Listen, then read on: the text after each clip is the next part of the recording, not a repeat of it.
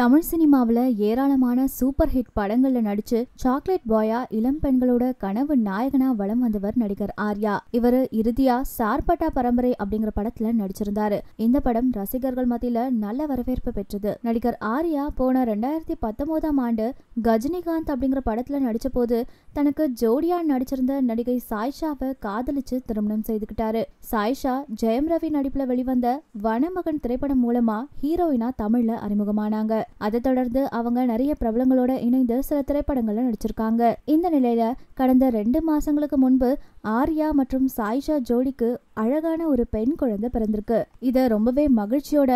ஆர்யாவுடைய நண்பரான நடிகர் விஷால் அவரு மாமாவாகிவிட்டதா கூறி அறிவிச்சிருந்தாரு இந்த நிலையில முதன் முதலா நடிகர் ஆர்யா தன்னோட மகளோட பேரை அவரு வெளியிட்டிருக்காரு அவரோட இன்ஸ்டாகிராம் பக்கத்துல இத பத்தி ஸ்டோரி ஒண்ணு போட்டிருக்காரு அதுல அவரு அப்பாவா ரெண்டு மாசங்கள கழித்து விட்டதாகவும் மகள்கள் தின வாழ்த்துக்கள் அரியானா அப்படின்னு தெரிவிச்சிருக்காரு ஆர்யாவுடைய குழந்தையோட பேர் அரியானா அப்படிங்கறத அவரே வெளியிட்டிருக்காரு இதை தொடர்ந்து பலரும் அவருக்கு வாழ்த்து கூறி வந்துட்டு இருக்காங்க மேலும் இது போன்ற தகவல்களை தொடர்ந்து தெரிஞ்சுக்க மறக்காம தினமலர் நெல்லை சேனலை சப்ஸ்கிரைப் பண்ணிடுங்க கூடவே இருக்க பெல் ஐக்கானை கிளிக் பண்ணிடுங்க